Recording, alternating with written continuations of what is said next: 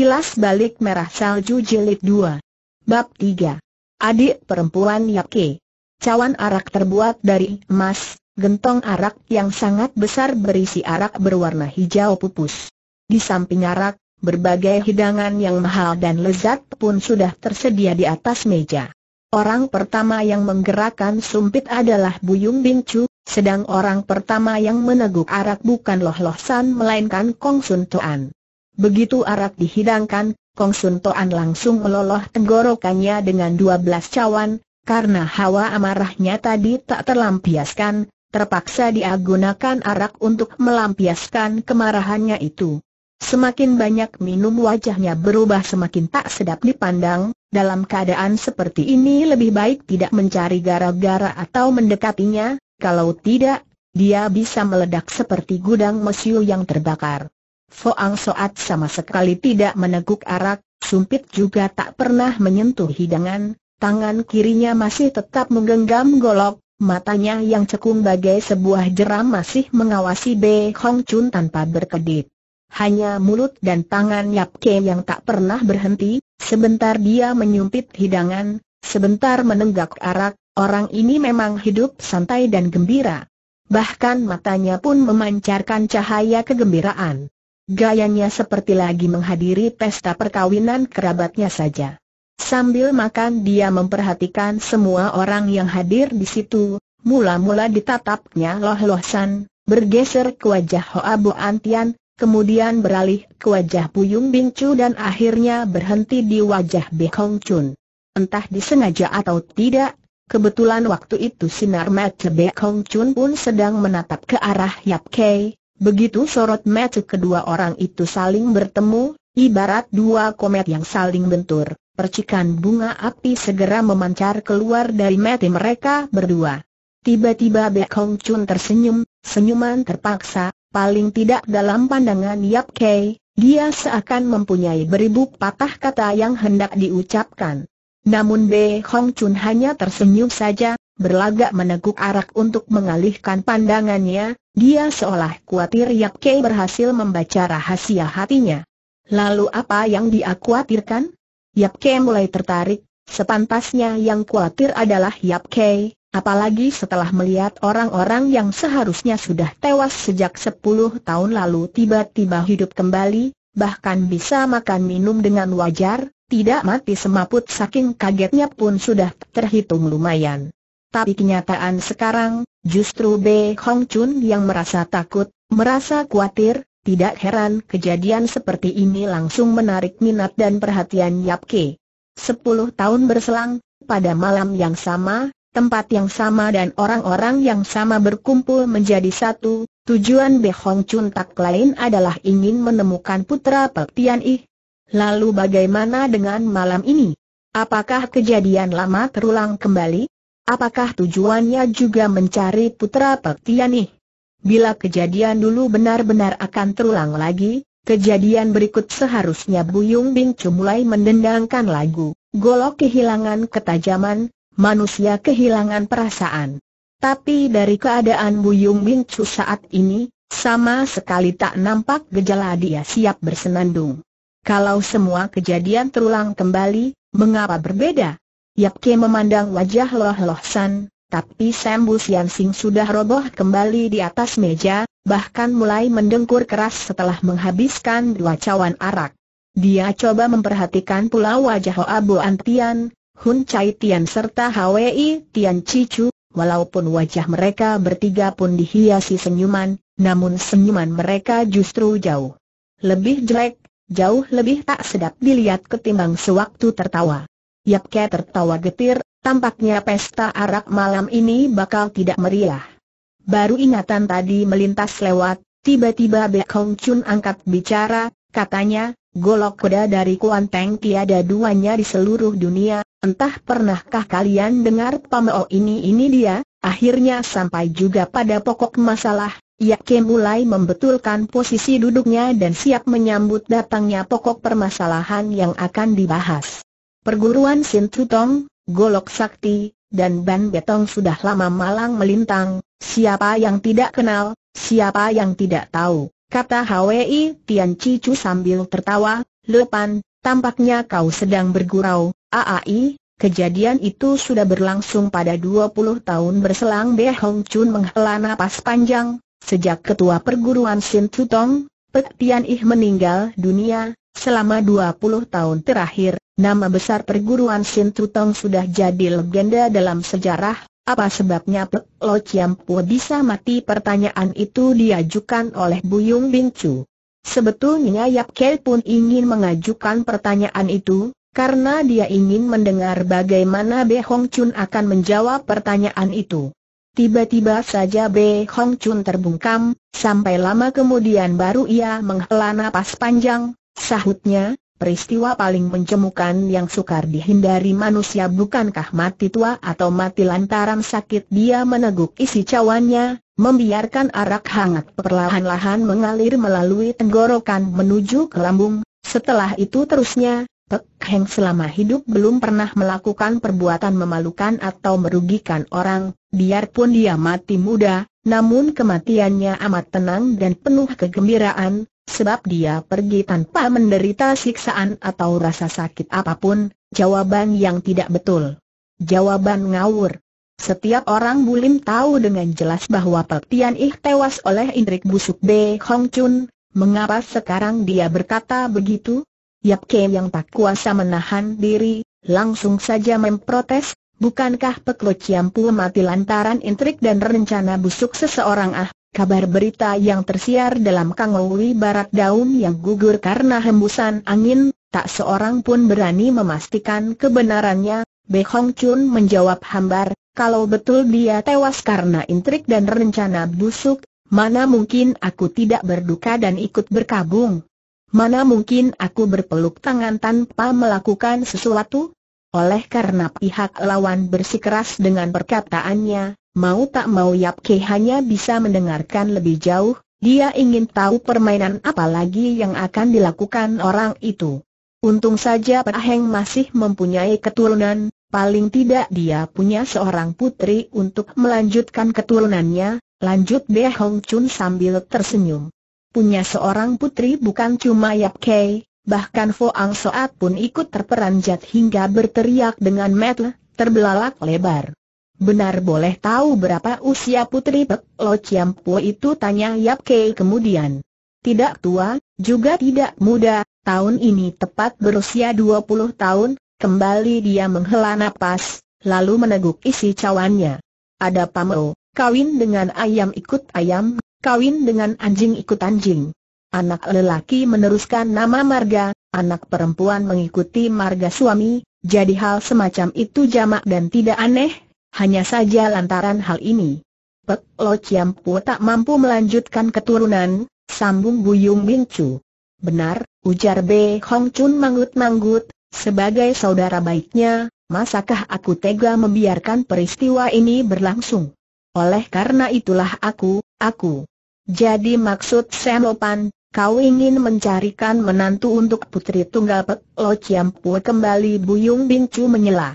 Rasanya apa yang bisa kulakukan sebagai saudaranya hanyalah begitu kembali Be Hong Chun manggut-manggut, tapi sayang, selama ini dia hidup di pinggiran kota, jarang keluar rumah, apalagi sebagai seorang gadis muda, kurang leluasa baginya untuk sering tampil, untung saja, untung saja hari ini, Untung saja hari ini secara kebetulan muncul kami beberapa orang di sini, sambung Yap Kei sambil tertawa, oleh karena itu saya melopan khusus mengundang kami dan ingin mencarikan menantu untuk Pek Lo Ciampu benar sekali, benarkah Pek Tian Ih mempunyai seorang anak gadis? Kalau sepuluh tahun berselang dia mengumpulkan orang-orang itu di Ban Betong karena ingin menemukan jejak putra tunggal Pek Tian Ih, maka sepuluh tahun kemudian, kembali dia mengumpulkan orang-orang itu karena ingin mencarikan calon suami untuk putri tunggal Pek Tian Ih.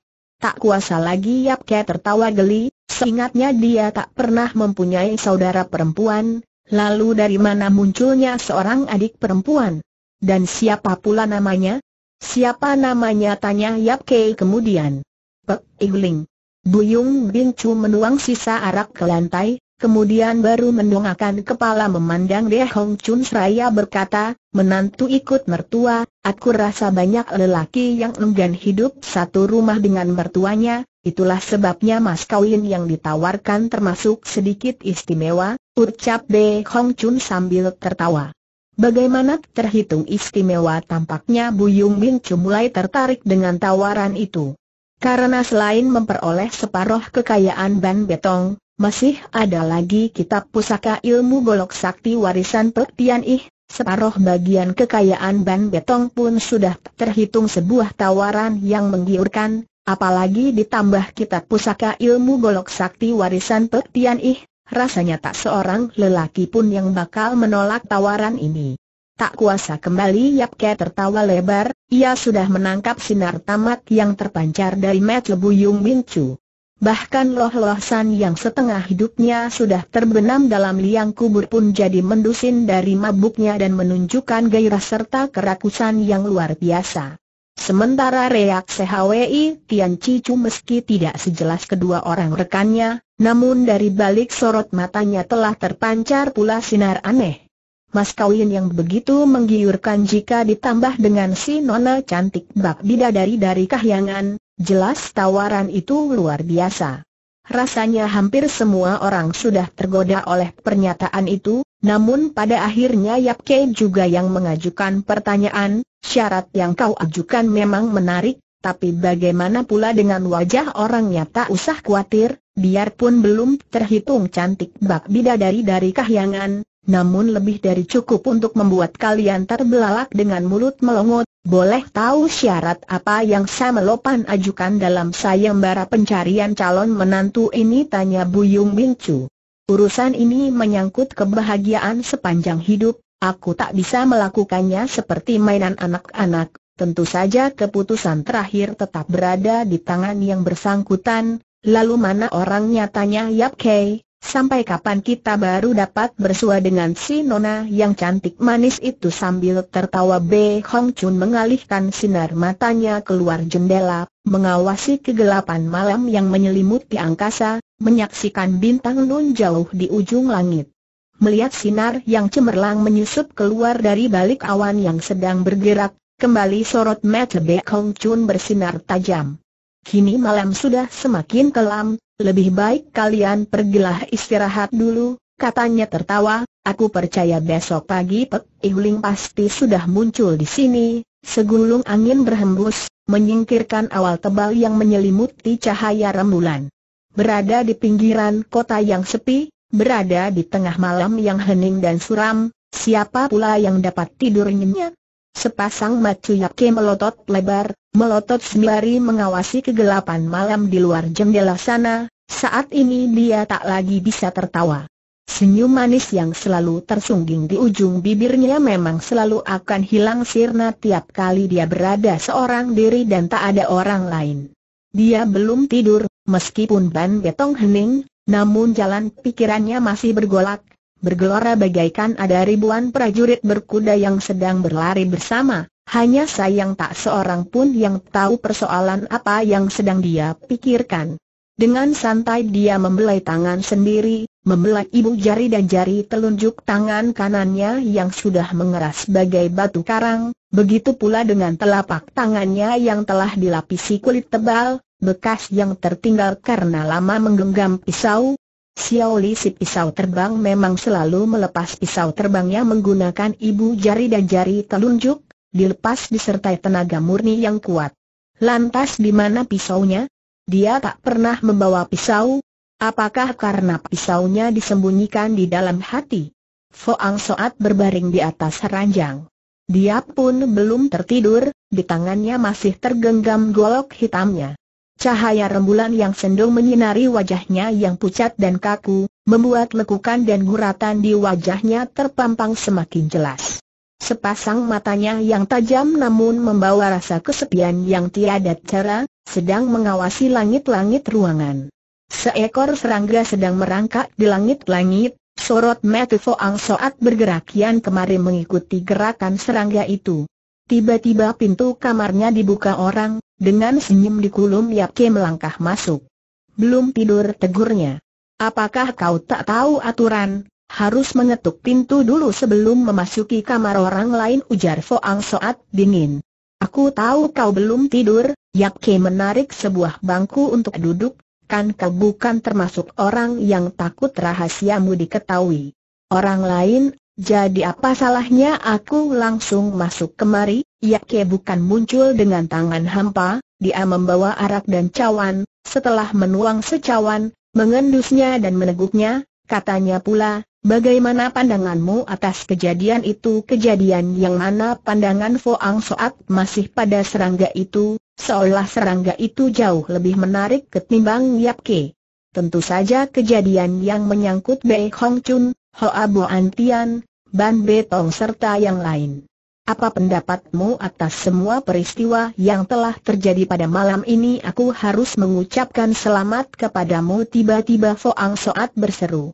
Begitu santai hal itu diucapkan, membuat Yap Kem nyaris tersedak oleh arak yang baru diteguknya, cepat dia sekaceceran arak di tepi bibirnya, lalu mengawasi rekannya dengan mata terbelalak. Apa kau bilang? Bisa diulang sekali lagi aku harus menyampaikan selamat kepadamu, mengucapkan selamat kepadaku? Kegembiraan apa yang sedang ku alami hingga pantas mendapat ucapan selamat seru Yap Ke tertegun kau sudah mendapat adik perempuan, masa peristiwa semacam ini tak boleh disebut kejadian yang menggembirakan sekali lagi Yap Ke tertegun, akhirnya dia tertawa getir dan meneguk habis sisa araknya. Jadi menurut pendapatmu, peristiwa yang terjadi malam ini adalah kejadian lumrah ujar Yap Ke sambil tertawa getir, Seakan pula sepuluh tahun berselang kita tak pernah mendatangi Ban Betong dan Be Hong Chun serta jago lainnya belum tewas Foang Soat tidak menjawab pertanyaan itu, dia kembali mengalihkan sorot matanya mengawasi serangga yang sedang berjalan di langit-langit. Jadi kau pun masih sama seperti sepuluh tahun yang lalu, menggembol-golok datang kemari untuk menuntut balas? Sementara aku pun masih seperti dulu, seorang gelandangan yang suka mencampuri urusan orang lain imbuh Yap Ke. Mendengar ucapan itu, Metu Foang Soat nampak mengejang sejenak, namun mulutnya tetap membungkam, sama sekali tak bergerak. Jika kejadian pada sepuluh tahun lalu harus terulang kembali, seharusnya perempuan itu adalah adikmu, kata Yap Ke lagi sambil tersenyum, jadi sepantasnya akulah yang harus menyampaikan selamat kepadamu.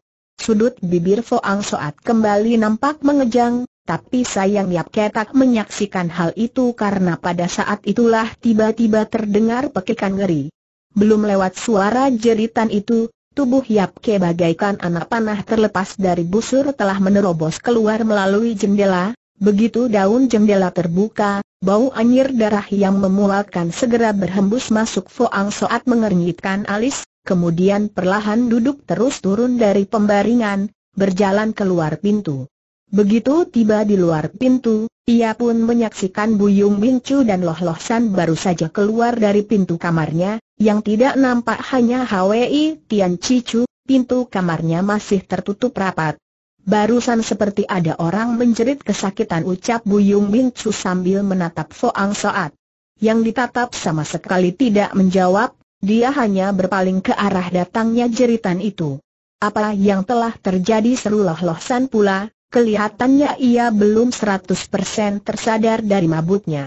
Asal kita datangi tempat itu, bukankah semua akan jelas sambil berkata Buyung Bingcu segera bergerak menuju ke arah tempat yang sedang. Dipandang Foang Soat, sementara Loh Loh San segera mengikut di belakangnya. Menanti mereka sudah berjalan jauh, Foang Soat baru menyusul dari belakang dengan langkahnya yang bebal lambat dan aneh. Hingga sekarang tabiatnya yang tak suka berjalan mendahului orang lain masih dipelihara dengan baik, baginya seolah selama hidup dia hanya mau berjalan mengikut dari belakang. Mungkinkah hal ini disebabkan karena dia khawatir ada orang bakal memenggal tengkuknya dari belakang? Meskipun begitu mendengar suara jerit kesakitan Yap Kei segera berjalan menuju ke sana, ternyata dia bukan orang pertama yang tiba di tempat kejadian. Sewaktu tiba, di sana sudah hadir empat orang, satu orang sudah mati dan tiga orang masih hidup. Hoa Bu Antian, Kong Sun Toan serta Hun Chai Tian sama-sama mengawasi mayat yang tergeletak di tanah tanpa berkedip, wajah mereka bertiga penuh dicekam perasaan curiga, kaget dan ngeri. Padahal ketiga orang itu termasuk jago yang sudah banyak pengalaman menghadapi berbagai peristiwa, jangankan cuma sesosok mayat, korban yang pernah kehilangan nyawa di tangan mereka pun sudah tak terhitung. Jumlahnya, tapi mengapa mereka mengunjuk mimik muka seperti itu? Ketika Yap Ke tiba di tempat kejadian, ketiga orang itu masih tiada belum bergerak, sorot mati mereka masih tetap mengawasi mayat itu tanpa berkedip. Dengan keheranan Yap Ke berjalan mendekat, tetapi setelah menyaksikan mayat itu, sama seperti ketiga orang lainnya, sorot matanya ikut terpaku tanpa berkedip. Siapa sebenarnya Seng korban? Jenazah siapakah dia? Mengapa jenazah itu bisa menimbulkan reaksi yang begitu luar biasa dari orang-orang itu? Bukan seng korban yang membuat mereka tercengang dan ngeri, tapi mimik muka mayat itulah yang membuat mereka bergidik dan ngeri. Rembulan telah condong ke tepi langit, namun cahaya lembut yang terpancar masih cukup terang menyinari jagat raya, terutama menyinari laut muka Hwi Tian Cicu. Selama hidup belum pernah Yap Ke menyaksikan raut muka seseram dan mengerikan ini, apalagi wajah sesosok mayat. Mimik muka Hwi Tian Cicu mengejang lantaran ketakutan, wajahnya yang pucat tak ubahnya seperti bunga salju di tengah musim dingin yang membeku. Belum pernah Yap Ke menjumpai kulit muka sesosok mayat yang bisa berubah jadi putih pucat seperti itu, apalagi menyaksikan kulit seseorang macam kulit badan Hwi Tian Cicu saat ini. Hwi Tian Cicu selama ini tersohor karena ilmu meringankan tubuhnya, kulit serta otot tubuhnya sangat lentur bagaikan seekor kuda jempolan, lantaran sudah terlalu lama kena cahaya seng surya, kulit itu telah berubah warnanya menjadi hitam berkilat. Tapi sekarang otot dan daging tubuhnya sudah berubah jadi daging gembur yang lunak, kulitnya seakan sebuah balon udara yang kehilangan gas, menyusut dan berkerut menempel jadi satu di atas tulang badan. Ternyata mayat itu nyaris mengering, darah yang semula mengalir dalam tubuhnya, kini hampir semuanya telah terisap keluar. Yap Kei berdiri termangu sambil mengawasi mayat Hwi Tian Cicu, kepandaian silat apakah yang mampu mengisap darah seseorang hingga habis? Kau pernah menyaksikan kematian semacam ini sebelumnya gumam Hoa Bo Antian. Belum pernah, Kong Sun Toan menjeleng. Coba kalian lihat, ujar Hun Chai Tian pula, tiada bekas luka di tubuhnya, jangan-jangan dia mati lemas karena ketakutan.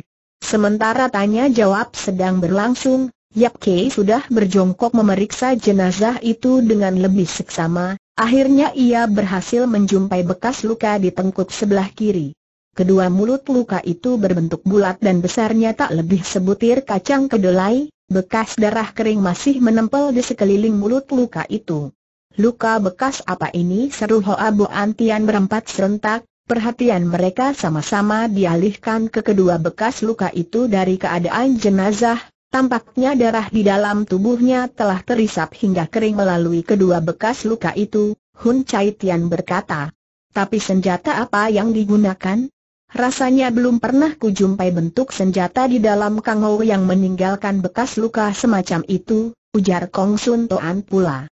Yap Kem yang selama ini hanya membungkam tiba-tiba buka suara, Katanya lirih, itu bekas gigitan bekas gigitan benar, mulut luka itu jelas terbentuk dari bekas gigitan, gigitan satu perubahan aneh mendadak melintas di wajah Abu Antian, jadi maksudmu, dia, darah dia terisap. Tanda petik. Benar, diisap setan pengisap darah paras muka semua orang berubah hebat. Menurut dongeng orang kuno, Konon bila ada orang mati yang jenazahnya dilompati kucing hitam pada masa tujuh kali tujuh hari sejak kematiannya, maka mayat itu dapat berubah menjadi mayat hidup. Mayat hidup semacam ini biasanya akan bangkit dari kubur dan mengejar korbannya dengan melompat-lompat. Ada pula dongeng lain yang mengatakan jika seseorang yang telah meninggal dan kebetulan dikubur di liang serigala, maka setelah melalui tujuh kali tujuh empat puluh sembilan hari, di saat mayat itu telah mengisap kekuatan inti matahari dan rembulan, maka sesudah seratus hari kemudian, jenazah akan hidup kembali dan bangkit dari liang kubur. Ketika tengah malam menjelang tiba, di saat cahaya rembulan sedang bersinar terang, mayat hidup itu akan menjebol peti mati untuk melompat keluar dari liang kuburnya dan pergi mencari manusia bagai mangsanya. Dengan mengandalkan sepasang taringnya yang panjang, mayat itu akan menggigit urat nadi manusia dan mengisap habis darahnya. Mayat hidup semacam ini biasanya disebut setan pengisap darah. Konon setan pengisap darah ini tidak bisa dibunuh dengan menggunakan senjata apa pun. Hanya bisa dimusnahkan bila jantungnya ditusuk dengan kayu bunga atau yang diruncingkan ujungnya. Selapis awan gelap bergerak pelan menutupi cahaya rembulan di tengah kegelapan yang mencekam, terasa pula hembusan angin utara yang kencang, mendatangkan hawa dingin yang menggigilkan. Tak kuasa Hoa Bo Antian dan Hun Chai Tian bergidik, bulu romanya berdiri, tanpa terasa mereka menggigit bibir, entah karena kedinginan, atau mungkin karena ketakutan. Ah, apa yang kau katakan tak lebih hanya dongeng yang beredar di kalangan rakyat, Bantah Kong Sun Toan, mana mungkin ada kejadian seperti itu rasanya hingga saat ini kita harus mengakui cerita itu sebagai kenyataan, kata Yap Kei pula, memang kau masih mempunyai penjelasan yang lain aku tidak percaya yang mengucapkan perkataan itu adalah Foang Soat, walaupun dia berjalan paling akhir, di belakang Buyung Bing Chu, namun tiba tidak selisih banyak. Oye Ayap Ke mulai tertawa, jadi kau tak percaya Hwi Tian Cicu tewas karena diisap darahnya oleh setan pengisap darah. Aku tidak percaya di kolong langit ini terdapat setan pengisap darah kembali Foang Soat menegas sambil mengawasi dua lubang darah di tengkuk Hwi Tian Cicu. Lantas menurut kau, bekas luka itu disebabkan jenis senjata seperti apa tanya Hoa Bo Antian. Aku tidak tahu hembusan angin malam di pinggiran kota terasa semakin dingin, begitu dingin bagaikan berada di puncak gunung salju, ditambah sinar rembulan yang begitu sayu dan pucat, membuat suasana di tempat itu terasa makin menggidikan. Loh Loh San memandang kembali jenazah yang terkapar di hadapannya, lalu dengan suara gemetar bisiknya, konon orang yang tewas karena diisap darahnya, dia akan berubah pula jadi setan pengisap darah pada keesokan harinya, dan dia pun akan mencari korban lain untuk diisap darahnya, betul, bahkan dia akan dikuasai dan dikendalikan setan pengisap darah sebelumnya, imbuh Hun Chai Tian. Aku pun pernah mendengar dongeng semacam ini, kayak tertawa tergelak, tampaknya kita harus menunggu sampai esok malam untuk membuktikan apa benar bakal muncul setan pengisap darah lainnya. Andai kata benar-benar muncul, apa yang harus kita lakukan tanya Loh Loh San dengan suara masih gemetar. Ya, apa boleh buat, jika benar-benar muncul setan pengisap darah, terpaksa kita hanya bisa kabur, aku dengar setan semacam ini usah dibunuh, Loh Loh San tidak buka suara lagi, tapi setiap orang dapat mendengar dengan jelas kedua baris giginya sedang saling beradu aking takutnya. Menurut apa yang ku tahu, Tiba-tiba Buyung Bing Chu berkata, care untuk membunuh setan pengisap darah semacam ini hanya ada satu yakni meruncingkan batang kayu bunga to, kemudian gunakan kayu itu untuk menusuk jantungnya, kalau begitu besok kita semua menyiapkan sebatang kayu bunga to untuk berjaga-jaga selayap ke sambil tergelak. Saat itu jarak dengan terang tanah sudah tak lama lagi, dengan cepat jenazah Hwi Tian Cicu digotong masuk ke gudang bawah tanah ban beton. Dengan tubuh letih, setiap orang pun kembali ke kamar masing-masing untuk beristirahat, Yap Kai belum juga bisa memejamkan mata, sambil mementang mata lebar-lebar dia mengawasi keluar jendela tanpa berkedip. Alisnya berkerut kencang, setiap kali sedang menghadapi masalah dan perlu pertimbangan, alisnya selalu berkernyit kencang. Dalam keadaan begitulah pikir punya pikir, tanpa terasa dia pun terlelap tidur. Tak lama kemudian, dari luar jendela tampak ada segumpal kabut tebal perlahan-lahan bergerak memasuki ruangan itu, dalam waktu lingkat seluruh ruangan telah diselimuti oleh kabut tebal. Dari balik kabut muncullah seseorang, seorang wanita bertubuh ramping dan berambut sepanjang bahu. Perempuan itu berdiri lurus di balik ketebalan kabut yang dingin membeku, seolah-olah sejak dulu hingga sekarang dia selalu berdiri kaku di sana, seolah-olah baru saja melumer dari balik kebekuan bongkahan es yang keras. Biarpun orang itu lebih dingin dari bongkahan salju, namun justru ringan dan mengambang bagaikan segumpal kabut. Lamat-lamat terlihat dia adalah seorang wanita, tapi sayang tak terlihat jelas bagaimana raut wajahnya, yang tampak hanya dia mengenakan pakaian seputih kabut, raut mukanya terselubung di balik asap putih. Perempuan di balik kabut itu hanya berdiri kaku sambil menatap Kei yang masih berbaring di ranjang, lama kemudian baru ia menghela napas panjang. Seandainya waktu itu Kei berada dalam keadaan mendusin, dia pasti akan merasakan hatinya hancur lantaran helaan napas itu. Tak ada orang yang bisa melukiskan betapa pedihnya helaan napas itu, tapi setiap orang pasti dapat menangkap bahwa di balik helaan napas itu terselip beribu patah kata yang ingin disampaikan, terselip rasa kangen yang luar biasa, terselip pula rasa kesal dan menggerutu yang mendalam.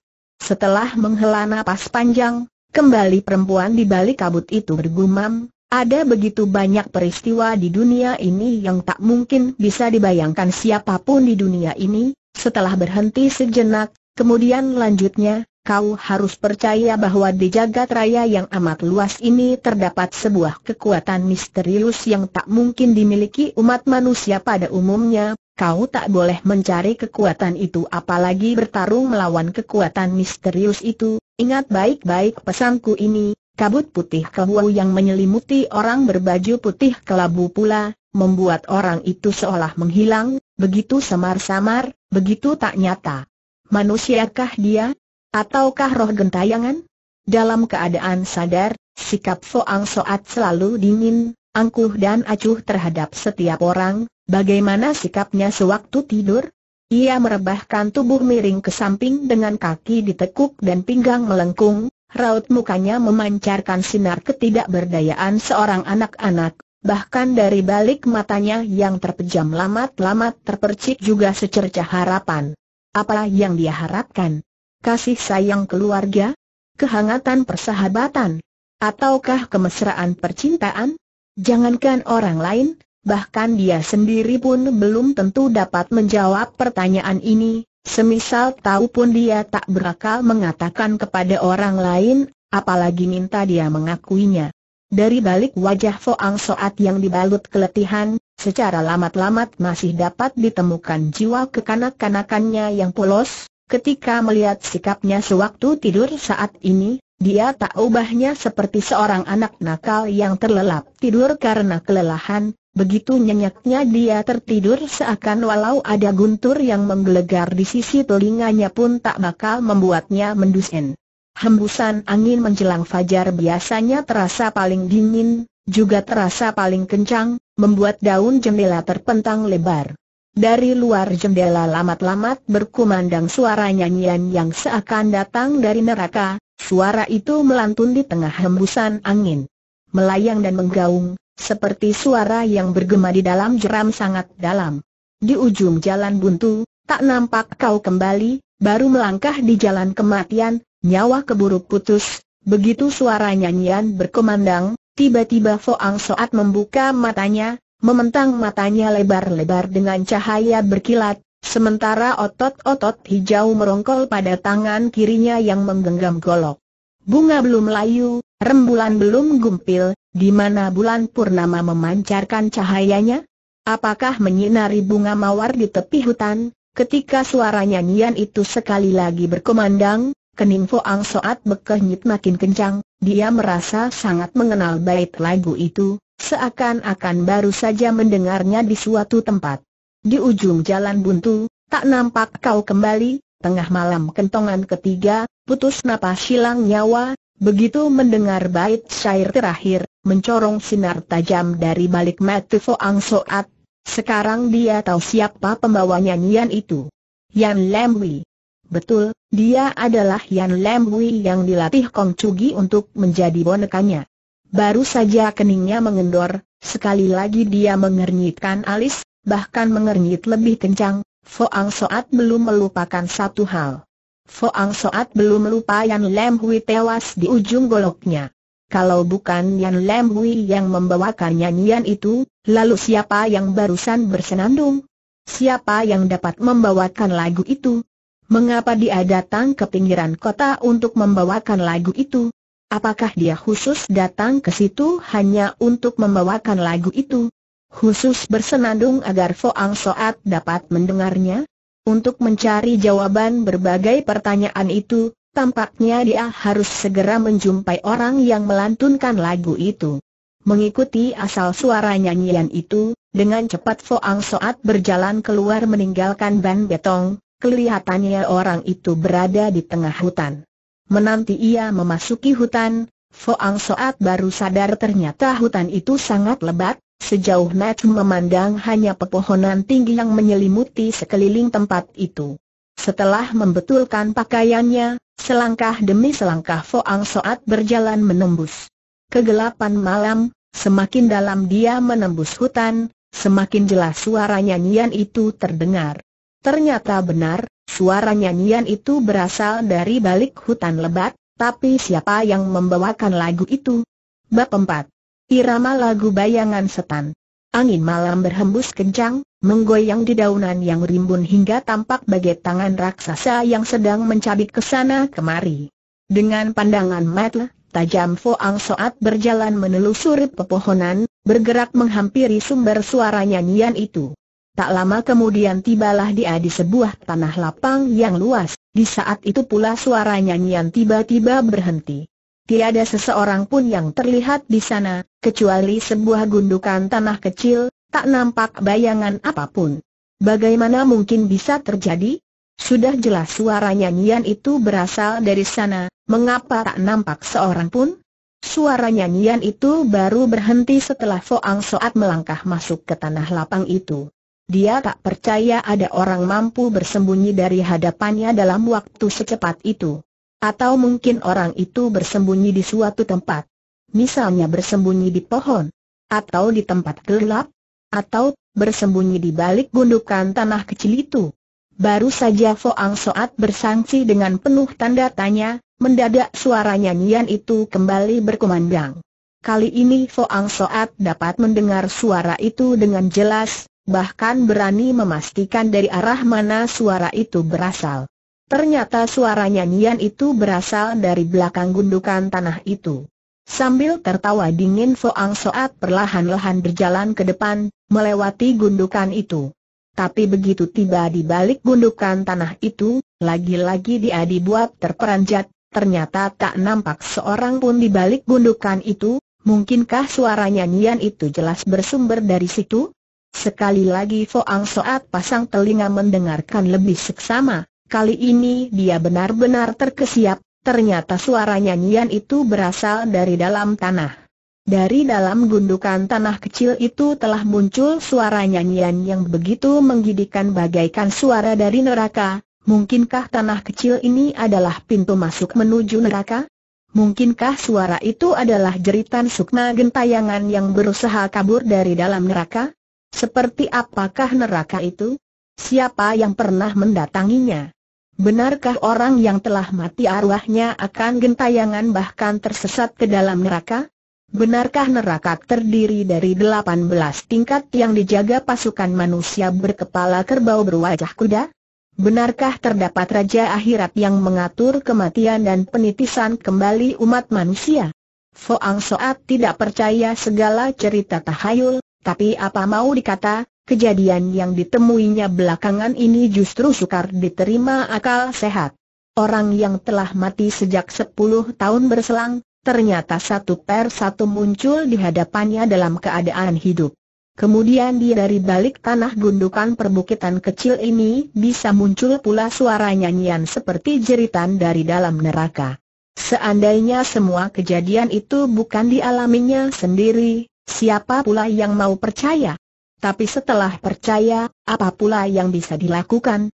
Diawasinya tanah gundukan itu lekat-lekat, lalu dengan tangan kanan dia mencoba meraba permukaan tanah, Dia ingin membuktikan benarkah gundukan tanah itu asli atau bukan. Begitu jari tangannya menyentuh permukaan tanah, ia segera sadar bahwa gundukan tanah itu betul-betul asli. Bersamaan dengan itu, mendadak terjadi goncangan kuat dari balik tanah, diikuti munculnya beribu garis cahaya yang memancar dari balik gundukan. Mengikuti munculnya pancaran cahaya, terdengar pula suara raungan gusar yang memekakkan telinga. Cahaya yang terpancar dari dalam tanah itu mirip semiuran api yang terang benderang dan menyilaukan mata, mirip pula dengan pancaran cahaya komet yang terlihat dari kejauhan. Dengan terperangah Foang Soat mengawasi pancaran cahaya yang menembus pepohonan itu, pekikan dan raungan gusar yang berkumandang tak ubahnya seperti teriakan dan jeritan beribu-ribu setan iblis dari neraka, membuat hati siapa pun bergidik dan ketakutan. Pada saat Foang Soat masih tertegun dan terbelalak dengan mulut melongo itulah mendadak pancaran beribu cahaya itu berubah bentuk dan muncullah seseorang. Mula-mula hanyalah sesosok bayangan yang lamat-lamat, tapi lambat laun semakin jelas pakaian yang dikenakan, rambutnya, tangan kakinya dan terakhir terlihat jelas kerut wajah seseorang. Ternyata kumpulan beribu cahaya yang menyilaukan matu itu kini sudah berwujud seseorang. Benar, sesosok manusia hidup. Menyaksikan manusia yang terbentuk dari kumpulan cahaya itu, Foang Soat bergidik, Hawa dingin yang menusuk tulang muncul dari lubuk hatinya dan menyebar ke seluruh badan, ditatapnya orang itu dengan penuh rasa kaget, tercengang bercampur ngeri. Orang itu balas menatap Foang Soat, bukan saja wajahnya penuh senyuman, bahkan pancaran sinar matanya pun penuh dengan senyuman, sayang walau dia tersenyum namun senyuman itu belum cukup untuk melenyapkan rasa ngeri Foang Soat. Dengan mata Terbelalak Foang Soat masih mengawasi orang itu, dari ujung kepala hingga ujung kaki, kemudian ditatapnya pula pedang merah darah yang berada dalam genggaman tangan kiri orang itu. Begitu merah menyala pedang itu melebihi merahnya darah, tapi segar dan indah bagaikan bunga mawar. Itulah pedang mawar, ya, pedang mawar milik Yan Lemwi. Ternyata manusia yang terwujud dari kumpulan cahaya itu tak lain adalah Yan Lam Hui, Yan Lam Hui yang telah tewas di ujung golok Foang Soat beberapa tahun berselang. Apa kabar sapaan Yan Lam Hui masih terdengar memikat, seakan mempunyai daya tarik. Foang Soat dengan jelas mendengar sapaan itu, namun untuk sesaat tak tahu bagaimana harus menjawab. Baru berpisah beberapa tahun, masakah sudah lupa padaku senyuman Yan Lam Wei nampak semakin mengental, aku adalah Yan Lam Wei. Sebenarnya kau, suara Foang Soat agak gemetar. Manusia atau setan Yan Lam Wei menyeringai, jika penilaian itu dilakukan oleh bangsa manusia macam kau, seharusnya saat ini aku sudah terhitung sebagai setan, bangsa manusia sejelek-jeleknya Foang Soat, dia tetap seorang jago kosen, dalam waktu singkat ia berhasil mengendalikan gejolak hatinya dan kembali bersikap tenang, jadi kau bukan terhitung manusia yang masih hidup adalah manusia, setelah mati tentu saja berubah jadi setan, kalau begitu kau termasuk golongan setan Foang Soat mulai tertawa dingin. Sewaktu mati, memang aku sempat menjadi setan, ujar Yan Lam Hui sambil tertawa, beruntung sekali aku telah bertemu Pangeran Kegelapan. Pangeran Kegelapan? Siapa Pangeran Kegelapan di antara alam yang dihuni golongan manusia dan alam yang dihuni golongan setan? Masih terdapat sebuah alam lain yang tak akan bisa kalian bayangkan, nah, alam itulah yang dikendalikan dan diurus Pangeran Kegelapan, oh, jadi di mana letak alam itu berada di antara langit dan bumi, berada di antara kau dan aku.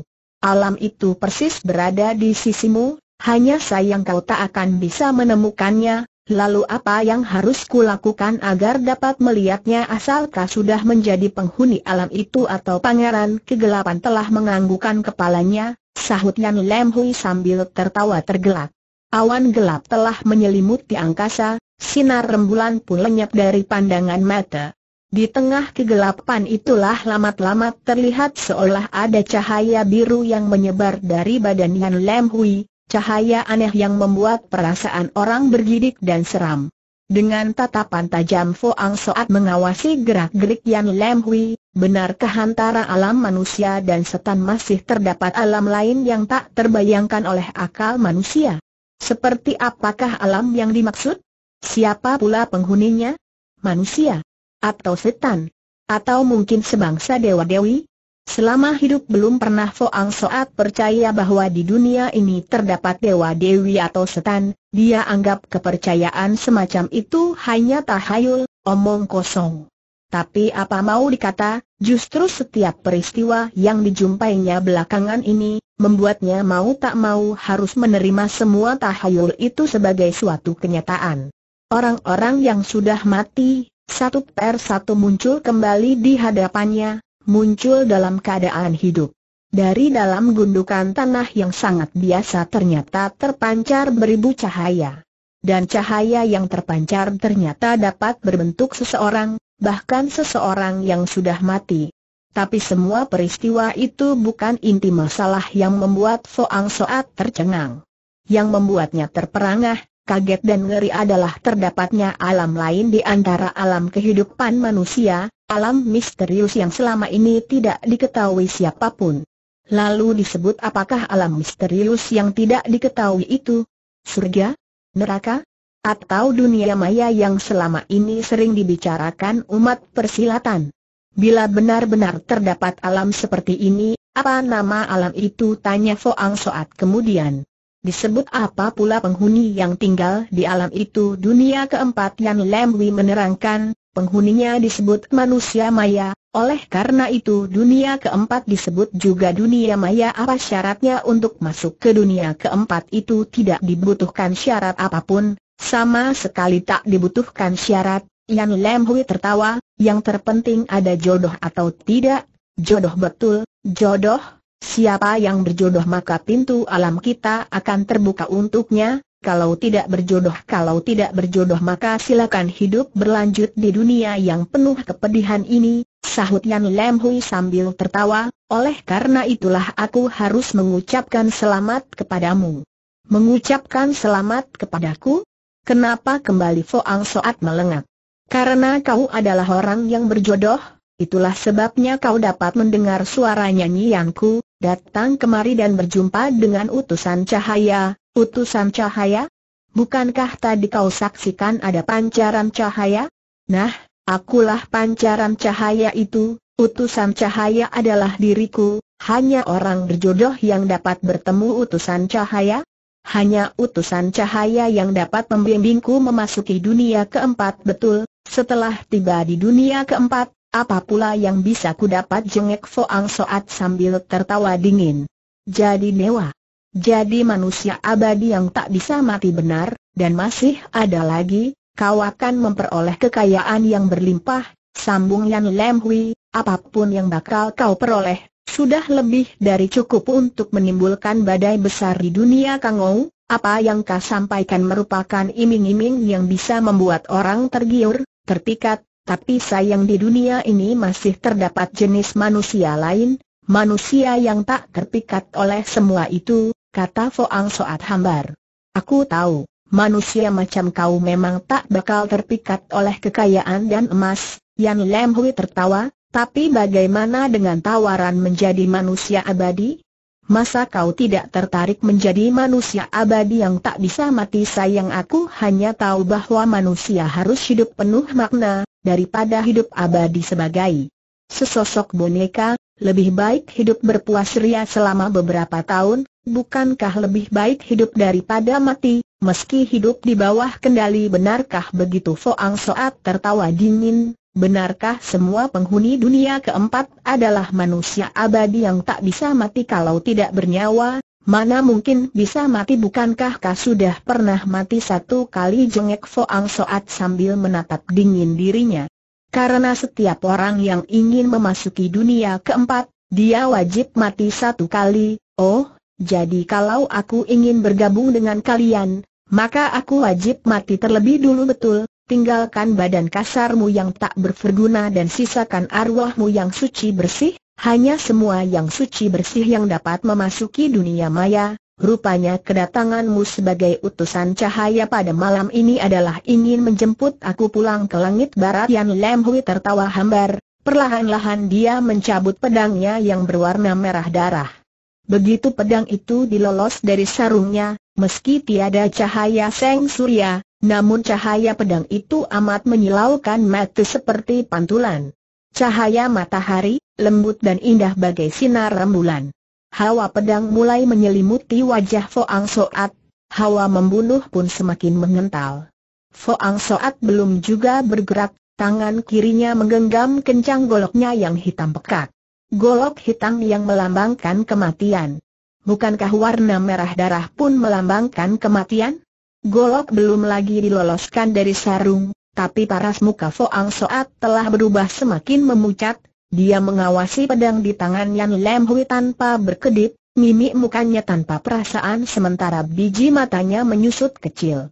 Yan Lam Hui balas menatap lawannya, sorot matanya yang berkilat bagai cahaya bintang di tengah malam memancarkan semacam perasaan aneh, entah perasaan itu melambangkan kegembiraan seorang yang baru terlepas dari penderitaan? Ataukah perasaan pedih karena ketidakberdayaan? Perlahan-lahan Foang Soat mendongakkan kepala dan balas menatap matanya. Ketika tatapan mati mereka saling bertemu, terjadilah benturan bunga api yang menyebar di tengah kegelapan malam, seperti dua komet yang tiba-tiba saling bentur. Tiba-tiba Foang Soat berkata, kau sudah dua kali kalah di tanganku, buat apa mesti mencari kekalahan untuk ketiga kalinya Matu Yan Lam menyusut, Tahu-tahu pedangnya melancarkan sebuah tusukan. Cahaya pedang segera menyebar ke seluruh langit, secepat sambaran kilat pedang itu meluncur ke muka, memancarkan hawa senjata yang dingin bagaikan es sebaliknya gerakan golok hitam justru sangat lambat. Biarpun kelihatan lamban, namun belum lagi cahaya pedang itu menerobos masuk, tahu-tahu golok itu sudah menerobos lebih dulu ke balik cahaya pedang dan membendung seluruh ancaman itu. Dalam waktu singkat di angkasa hanya tampak cahaya pedang yang merah membara bagai darah serta metu golok yang putih memucat. Satu tebasan cahaya golok yang sangat tawar, setawar air telah jadi musim semi, dan sedingin hawa musim salju berkelebat, ya, hanya satu kelebatan saja, tahu-tahu bunga pedang yang semula menyelimuti angkasa kini telah lenyap. Rupanya tebasan golok Foang Soat telah berhasil memunahkan serangan maut Yan Lam Hui. Seolah-olah ilmu silat Yan Lam Hui sama sekali tidak mengalami kemajuan, biarpun orangnya telah hidup kembali namun ilmu silatnya justru telah mati. Dengan lenyapnya ancaman cahaya pedang, seharusnya Foang Soat merasa gembira dan bangga, ternyata tidak, alisnya justru berkerut kencang, malah raut mukanya memperlihatkan perubahan yang aneh. Kendati pun dia berhasil memunahkan jurus pedang Yan Lam Hui, namun dia justru dapat merasakan bahwa hawa pedang yang terpancar dari tubuh lawannya jauh lebih tebal dan kental. Begitu jurus pedangnya jebol, Yan Lam Hui segera tertawa seram yang mengerikan, bagaikan suara raungan dari neraka, berbareng cahaya hijau yang menyelimuti badannya kian bertambah tebal dan menguat. Di tengah tawa seramnya, sekali lagi Yan Lam melancarkan sebuah tusukan. Kali ini tiada cahaya pedang yang menyelimuti angkasa, tiada kecepatan bagai sambaran kilat, tapi hawa pedang yang terpancar justru makin tebal, makin rapat. Tusukan pedang itu datang secara lamban, tiada bunga pedang yang terlihat kecuali getaran keras pada ujung senjata. Begitu melihat getaran ujung pedang lawan, serta merta Foang Soat mundur selangkah. Baru saja kakinya melangkah mundur, ujung pedang yang bergetar tiada hentinya itu tahu. Tahu memancarkan cahaya tajam berwarna hijau tua. Sinar hijau itu meluncur ke depan, menembus udara dan langsung mengancam dada musuh. Beruntun Foang Soat harus menggunakan tiga macam gerakan tubuh yang berbeda sebelum berhasil lolos dari ancaman cahaya hijau itu, tapi sayang dia tak berhasil menghindari tusukan pedang Yan Lam Wei. Ujung pedang menyambar, darah segar segera muncrat ke mana-mana. Darah segar berwarna merah, semerah pedang mawar dalam genggaman Yan Lam Wei. Ternyata bahu kiri Foang Soat telah tersambar ujung senjata lawan hingga muncul sebuah mulut luka berdarah. Luka itu cukup dalam, meski tak sampai menimbulkan rasa sakit yang luar biasa. Sambil mengertak gigi Foang Soat mengayunkan goloknya dengan tangan kanan, melepaskan bacokan kilat. Bacokan itu bukan ditujukan kepada lawan, tapi dibabatkan langsung ke bahu kiri sendiri. Ketika matu golok berkelebat, kulit daging di bahu kirinya segera tersayat. Kembali darah menyembur dari bekas sayatan itu, kini Foang Soat baru merasakan kesakitan. Yang luar biasa, namun dia justru menghembuskan napas lega. Tak lama setelah kulit daging bahu yang tersayat itu jatuh ke tanah, tiba-tiba terdengar suara mencicit bergema dari sayatan itu, dalam waktu singkat sayatan kulit daging tadi berubah jadi hitam pekat, lalu dalam sekejap melumer dan berubah jadi cairan berwarna hitam pekat. Racun. Ya, hanya tubuh yang terkena racun baru akan menimbulkan gejala seperti ini. Mengawasi cairan hitam yang membusuk di atas tanah, Foang Soat tertawa dingin, jengeknya, rupanya penghuni dunia keempat pun pandai menggunakan akal busuk, bahkan pintar sekali memakai racun, Yan Lam Hui tidak menjawab, sekali lagi dia memperdengarkan suara tawanya yang menyeramkan, pedang dalam genggamannya kembali melancarkan tusukan. Kali ini tidak menunggu ujung pedang lawan bergetar, golok Foang Soa telah bergerak lebih dahulu. Tiada bunga golok, tiada hawa golok, yang terjadi hanya sekali bacokan, bacokan dari atas ke bawah, dari gerak cepat berubah jadi lambat. Di tengah cahaya pedang berwarna merah, terbias lapis cahaya golok yang sangat tipis. Di mana cahaya golok berkelebat, tahu-tahu pedang Yan Lam Hui telah berubah menjadi dua bagian dan terpisah ke kiri kanan. Ternyata bacokan golok itu telah membelah pedang mawar menjadi dua bagian. Pedang itu terpapas putung jadi dua bagian, setengah bagian masih berada dalam genggaman Yan Lam Hui dan setengah bagian yang lain rontok ke tanah. Tiba-tiba Yan Lam Hui mengepalkan tangan kirinya, sambil menjulurkan jari telunjuk dan jari tengahnya, dia membuat satu guratan lingkaran aneh di tengah udara dan mulutnya komat kamit, kemudian ia berteriak, Terbang kurungan pedang yang semula tergeletak di tanah itu tiba-tiba meluncur ke udara bersamaan dengan suara bentakan Yan Lam Hui, lalu dengan kecepatan tinggi meluncur ke arah Foang Soat. Kutungan pedang itu meluncur begitu mantap dan bertenaga, seolah-olah terdapat tangan tak tembus pandang yang sedang menggenggamnya dan ditusukkan ke tubuh lawan. Pedang yang semula sebilah mendadak berubah jadi dua potong, satu bagian berada di tangan Yan Lam Hui, bagian yang lain terbang melancarkan serangan maut. Inilah ilmu pedang tingkat tinggi, ilmu pedang yang dikendalikan tenaga dalam. Selama ini kehebatan ilmu itu hanya ada dalam dongeng atau cerita orang, sama sekali tak. Disangka hari ini dari Yan Lam Hui dapat disaksikan kenyataan itu, setelah bangkit dari matinya terbukti ilmu silat orang ini bertambah lihai dan sakti. Seorang Yan Lam Hui dengan sebilah pedang saja sudah begitu susah dihadapi, apalagi sekarang, setelah bertambah lagi dengan sebuah ancaman yang datang dari udara, Foang Soat merasakan tekanan yang semakin berat. Terpaksa dengan sekuat tenaga dia hadapi ancaman yang datang dari depan maupun belakang dengan sekuat tenaga. Manusia aneh dengan jurus serangan aneh dan ujung pedang yang telah dipoles racun keji, semakin bertarung, suara tawa Yan Lam Hui semakin bertambah nyaring. Semakin nyaring suara tawa lawan, peluh dingin yang membasahi jidat Foang Soat makin bertambah deras. Pedang terbang itu sekali-kali melancarkan tusukan maut ke tubuh Foang Soat, baru selesai dia menghindari ancaman pedang terbang itu, ancaman pedang Yan Lam Hui menyusul tiba. Sambil membalikan badan Foang Soat melayangkan bacokan, siapa tahu pedang terbang itu tiba-tiba berbalik arah dan menyambar lagi dari belakang tubuhnya. Ancaman itu datang tanpa menimbulkan suara, secara diam-diam pedang itu membokong ke arah batok kepala Foang Soat.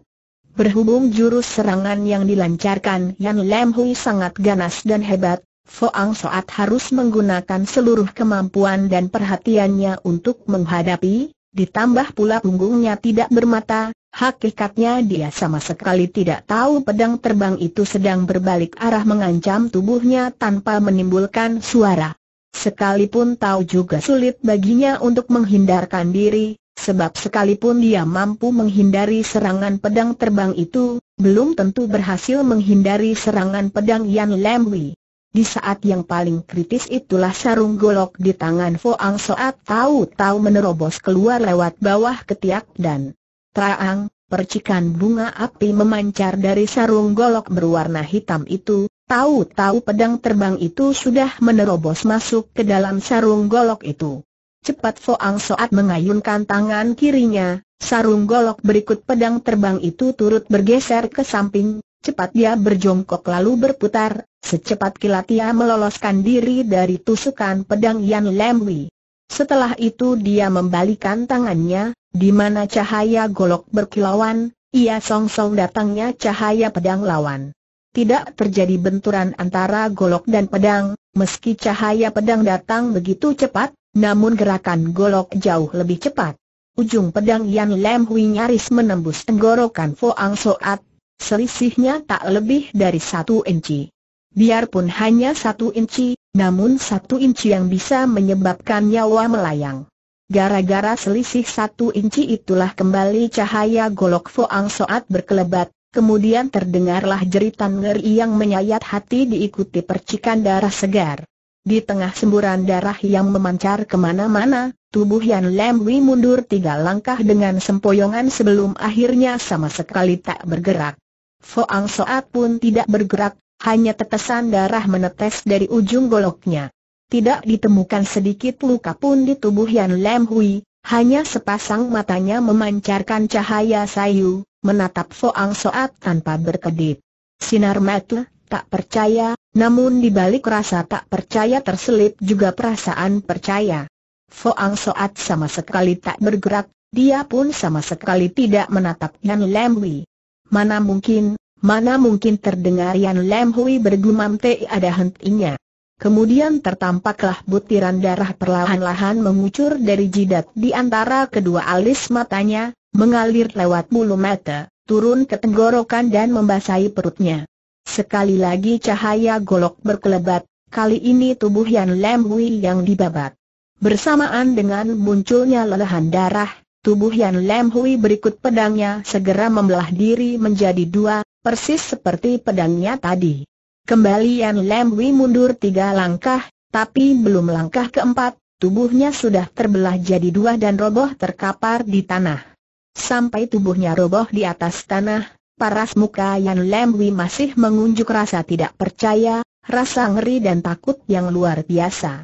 Perlahan-lahan Foang Soat bangkit, memandang wajah Yan Lam Wei yang terbelalak tak percaya, dia mendengus dingin, jengeknya, Ternyata penghuni dunia keempat pun tetap bisa mati. Foang Soat memungut sarung goloknya sambil menyarungkan kembali senjatanya, lalu dengan menggunakan langkahnya yang aneh dan khas, perlahan-lahan meninggalkan gundukan tanah itu menuju keluar hutan. Saat itulah cahaya pertama Seng Surya mulai memancar dari ufuk timur, menembus awan tebal, menyinari hutanan gelap, membuat butiran embun yang tersisa di dahan dan dedaunan membiaskan cahaya yang menyilaukan mata. Butiran embun kecil terhimpun membesar lalu menetes dari atas dahan, menetes persis di atas mata Yan Lemwi. Tiba kembali di ban betong, hari mulai terang tanah. Foang Soa tetap berjalan lamban, tiba-tiba ia menjumpai satu kejadian aneh, biarpun sudah terang tanah namun suasana dalam ban betong masih sunyi sepi, Jangankan menjumpai seseorang, sedikit suara pun tidak terdengar. Mana penghuninya? Ke mana mereka telah pergi? Jangan-jangan setelah malam berlalu, keadaan ban betong akan pulih seperti keadaan malam sebelumnya? Mungkinkah mereka yang seharusnya telah mati, kini kembali masuk ke liang kubur?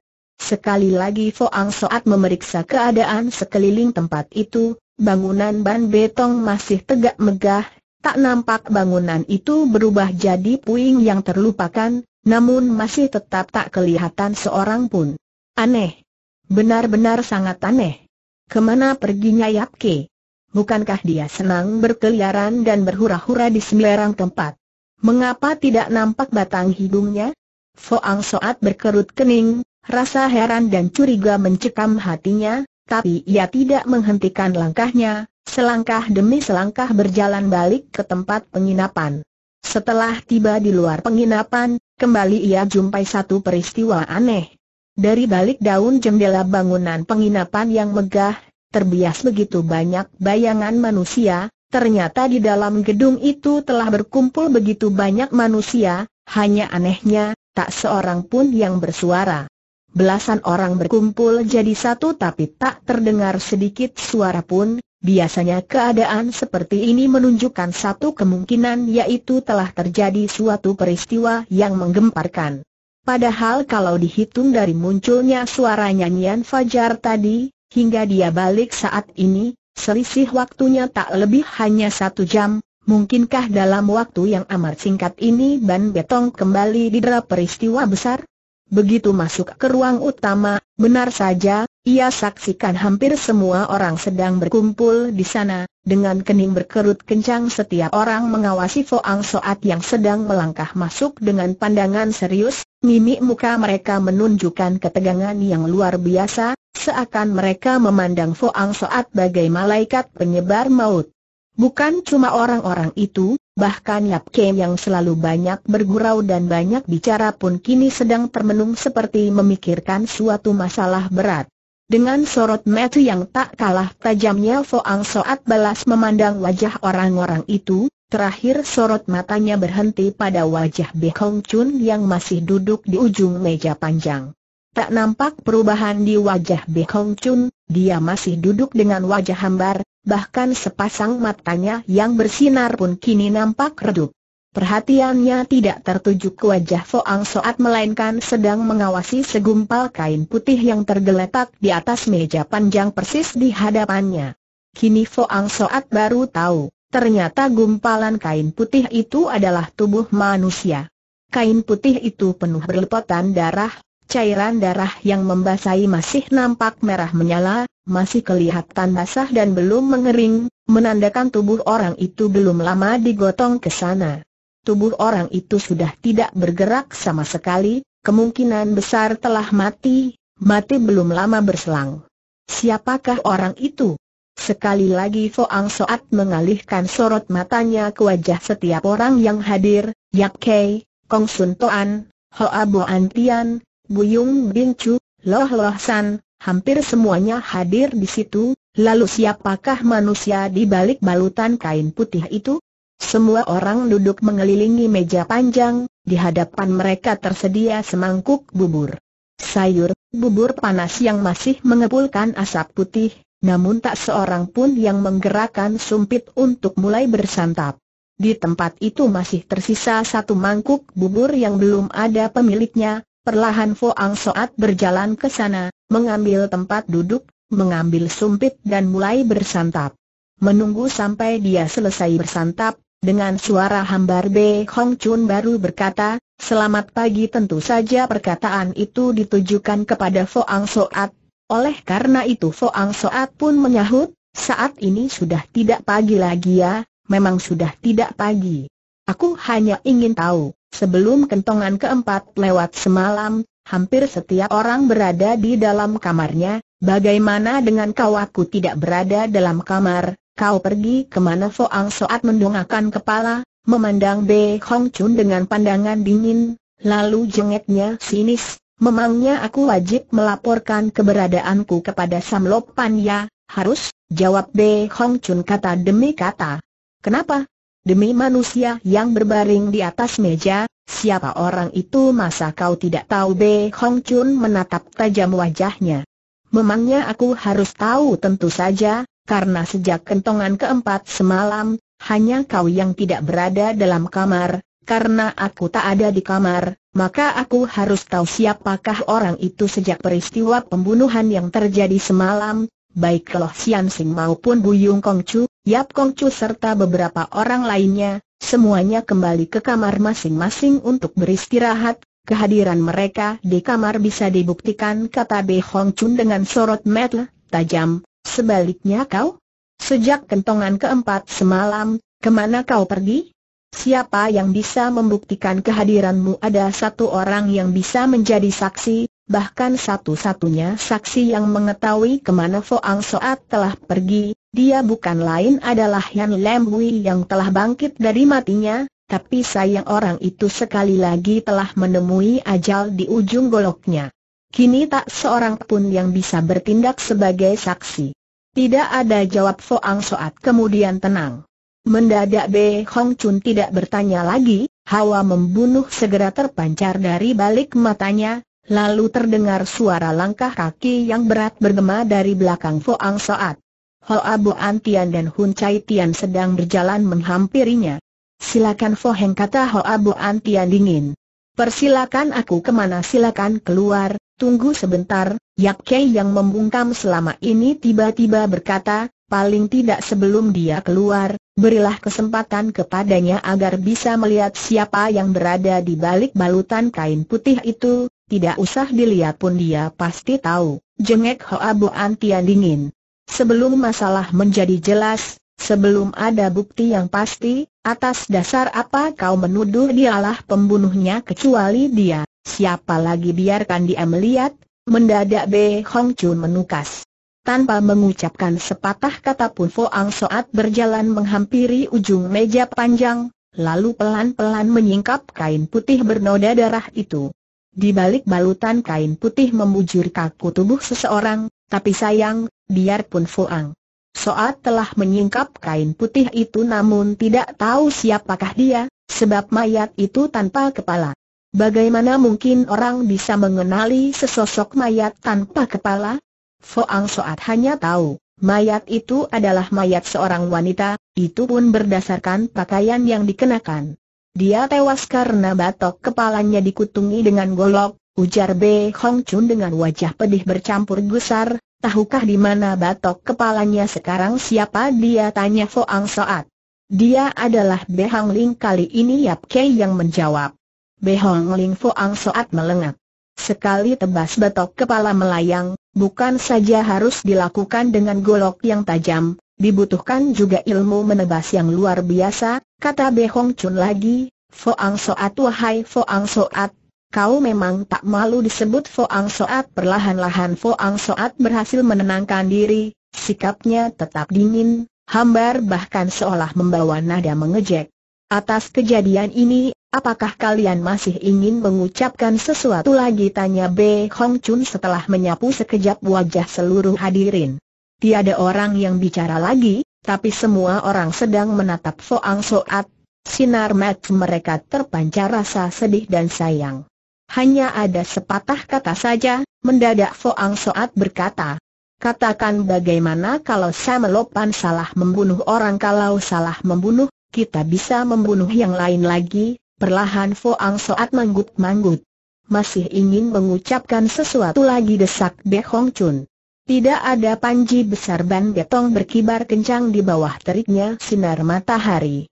Saat itu banyak orang sedang berdiri di bawah teriknya Seng Surya.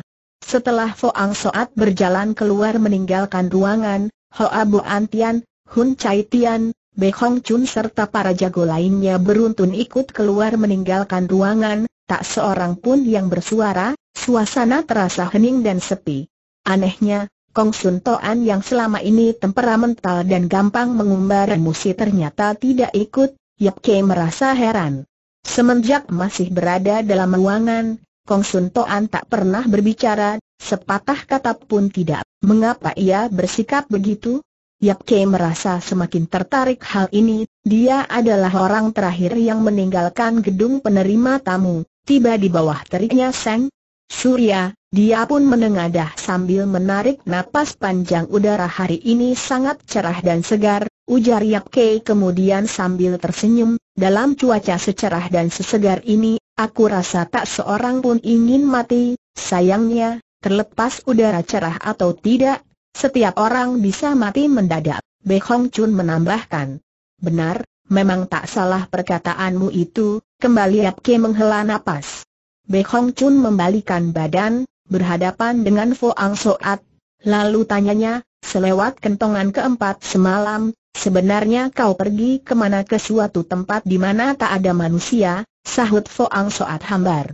Sayang, sayang tiba-tiba Hoa Bo Antian meluruskan tangannya ke bawah, menepuk pelan ikat pinggang kulitnya, kering, sebilah pedang lemas yang terbuat dari baja putih segera tercabut dari sarungnya dan menjadi kaku dan lurus. Pedang bagus puji Yap Ke tanpa terasa. Bagaimana kalau dibandingkan golok itu ejek Hoa Bo Antian sambil melirik golok di tangan Foang Soat. Tergantung berada di tangan siapa golok itu, sahut Lap Kei sambil tertawa. Jika berada di tanganmu tanya Be Hong Chun tiba-tiba.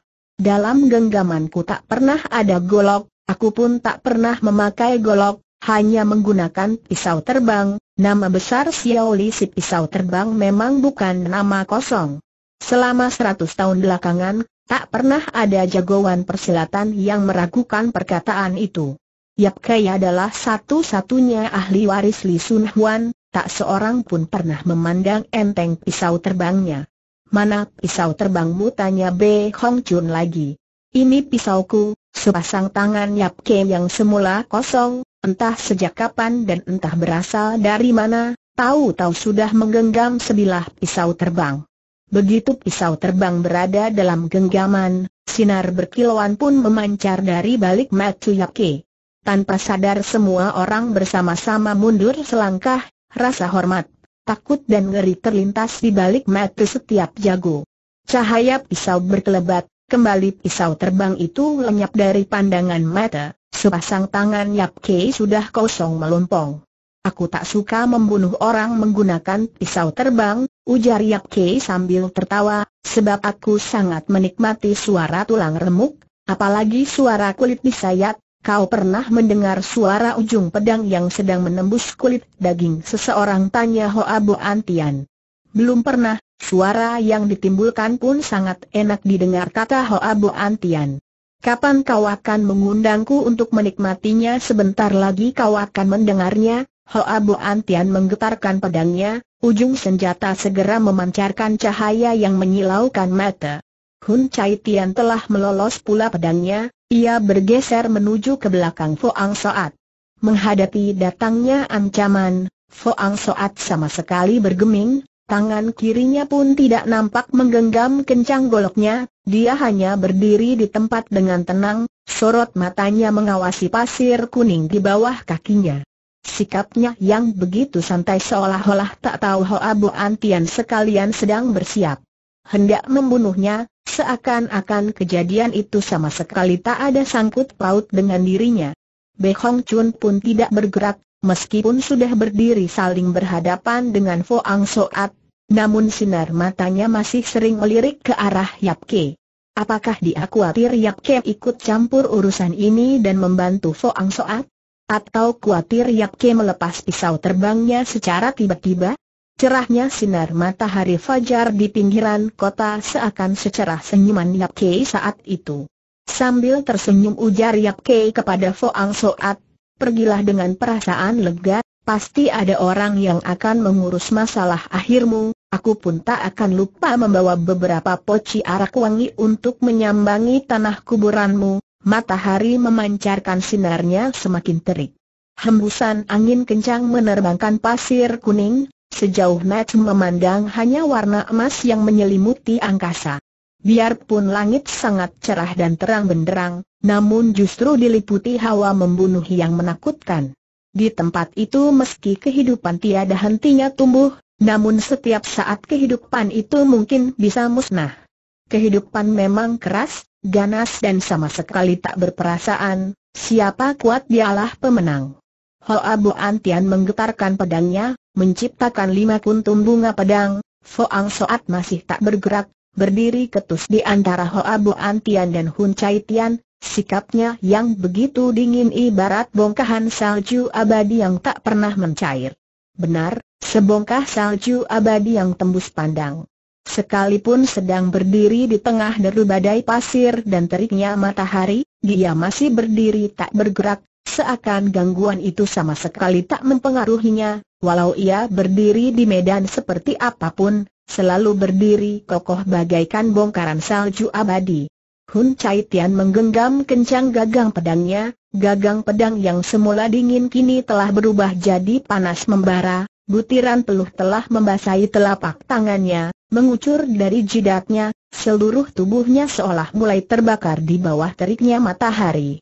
Cabut golokmu bentakan Hun Chai Tian pun membara bagi jilatan api. Foang Soat masih belum bergerak, Biarpun begitu otot-otot hijau pada lengan kirinya sudah mulai merongkol. Cabut golokmu butiran peluh mulai bercucuran dari jidat Hoa Bo Antian, membasahi sudut matanya.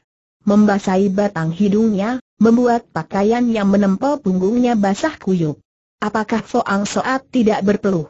Tangannya masih memegang sarung golok dalam posisi yang sama, hanya otot-otot hijaunya nampak semakin merongkol. Tiba-tiba Hoa Bu Antian meraung keras, cabut golokmu sekarang bukan saat yang tepat untuk mencabut golok, jawab Foang Soat sangat hambar. Sekarang adalah saat paling tepat untuk mencabut golok, jerit Hoa Bu Antian lagi, aku ingin melihat, apakah masih ada noda darah di matu golokmu sayang golokku bukan barang pameran, apa yang harus kulakukan agar kau mau melolos golokmu tanya Hun Chai Tian. Hanya ada satu alasan aku mencabut golokku, apa alasanmu? Membunuh itu pun tergantung manusia macam apa yang harus kubunuh. Bagiku selamanya ada tiga jenis manusia yang pantas dibunuh, tiga jenis musuh besarku, Xiao Jin, manusia jenis apa lagi tukas Hun Chai Tian. Yang ketiga adalah manusia macam kau, memaksa aku untuk mencabut golok jawab Fo. An Soat sambil berpaling dan menatapnya dingin. Bagus, bagus sekali, Hun Chai Tian mendongakkan kepala sambil tertawa terbahak-bahak.